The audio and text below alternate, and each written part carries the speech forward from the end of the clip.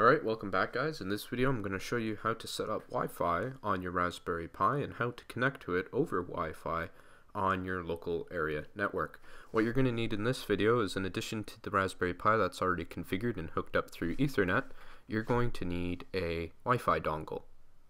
So this is like a $8 Wi-Fi dongle that I picked up off the web. What you're going to want to do is plug in your dongle. There we go. So our dongle is now installed. So my Raspberry Pi is already running. When I plug in the dongle, you can see it in the back right there. So now that we have that set up, the next thing you're going to want to do, if you haven't already, is start up your uh, VNC server, which you do by patching in through SSH. We type in our password, we're in, if you need to, VNC server 1. So I already have it running. Excellent.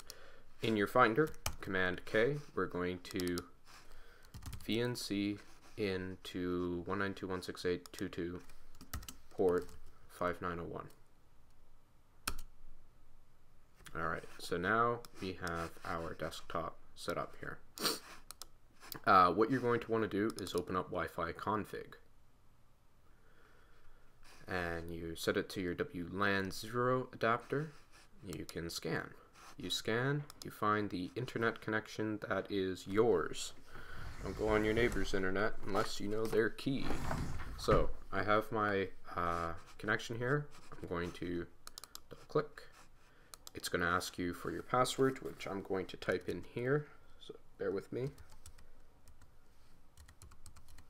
Okay. I'm going to add that close, connect,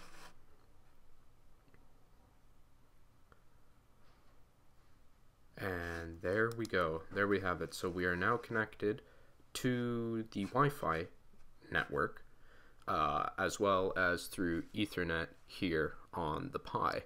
So there are two ways I can connect now. Either through the Wi-Fi or through uh, Ethernet to my Pi. Now you see here IP address 192.168.1.78. That happens to be the IP address of my Raspberry Pi on my router. Uh, this is something that you're going to want to change on your router. I can leave it, I already have it set up to uh, B192.168.1.78, but the problem is, is if you don't make this static and you try to patch in again at a later time, your router might reassign the IP address to your Pi, and if it does that, then you're going to try and connect and you're not going to know what your IP address is unless you check.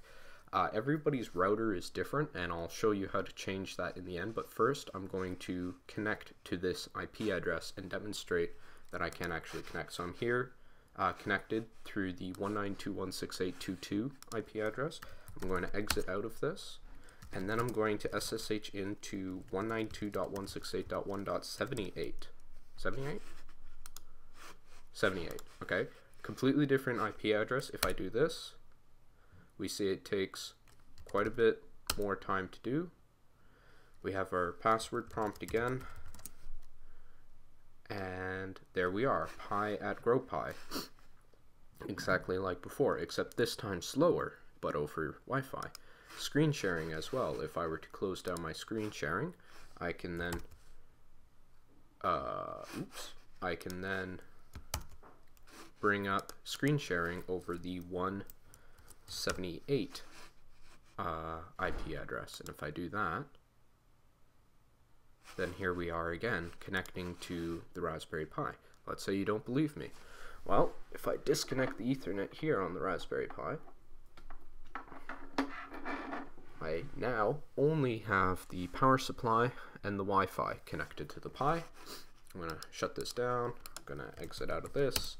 So everything is disconnected. SSH in again, 192.168.1.78. And type in the password. And here we are connected. So this Wi-Fi setup is good if you're going to embed this into something and you don't have access to an Ethernet cord. If you're just mucking around on your Raspberry Pi having fun, then I would use the Ethernet connection since it is more stable and faster. Um, one thing you will notice though now if I go into Finder and I connect to the Pi is that the internet connection is no longer being routed through your computer. Where's my screen? There we go. Uh, the internet connection is no longer being routed through your computer, but now through your Wi-Fi. And this is important if you want to, say, set up your Raspberry Pi to act as a server that you can talk to over the web, which is a tutorial that I'll be covering in another video. So let's go to a great website, Google. Not connected. Why not? Okay, so how about we try rebooting the Raspberry Pi. So I'm going to shut it down, lose my connection, wait for it to turn off. You know your Raspberry Pi is off because the green light stops flashing and will go completely off. I'm now going to unplug my Raspberry Pi plug it back in. Okay, so the Raspberry Pi has been rebooted. We're going to log back into it through the Wi-Fi because I do not have the Ethernet cord connected. It prompts for the password. I am able to connect. Excellent. If I shut this down, I... So because I rebooted it, I'm going to have to start up the VNC server again. I'm going to set it up on 1. Okay, we have that set up in Finder. We're going to connect through VNC again.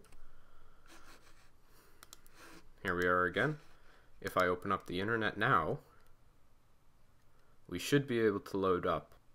Alright, and there we have it. So now it's loading up. So I think what happened there was the fact that I removed the Ethernet cable, which was the internet connection of the Raspberry Pi, and then tried to access it exclusively through Wi-Fi. So simply by rebooting the Pi, you know, I'm learning something here too. By rebooting the Pi, I am able to get the internet connection. So now I have the Raspberry Pi completely separate from my computer sitting on my network. Now I mentioned that making sure that the IP address of your Pi being static is important, otherwise you're not going to be able to log in. And the reason for it is just that I rebooted my Pi, perhaps it came in as 179, I wouldn't have been able to reconnect. So the way that you go about fixing this is it really depends on what router you have.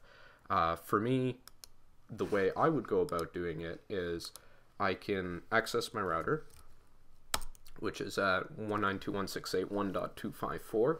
Yours could very well be different. Uh, when, when you log into your router, you will uh, see a bunch of different things. Uh, for me, if I go into the settings and local area network, then I can see the IP address of my GrowPi, as well as all the other uh, things on the network.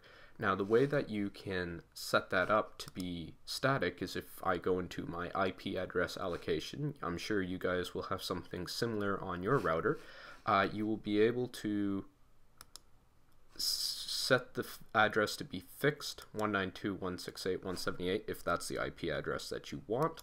If you save that, then the GrowPi, every time it connects to the uh, Wi-Fi system, will be at that IP address, and that way you are always able to connect to it. So this is great. We can now connect to the Pi over Wi-Fi uh, through our local area network. Now, something else that's neat that we can do is actually connect to our Pi over the internet. So a completely separate connection and uh, being able to patch in. So you could be at work, let's say, or at somebody else's house and you can access your Pi. And I will show you how to do that in the next video.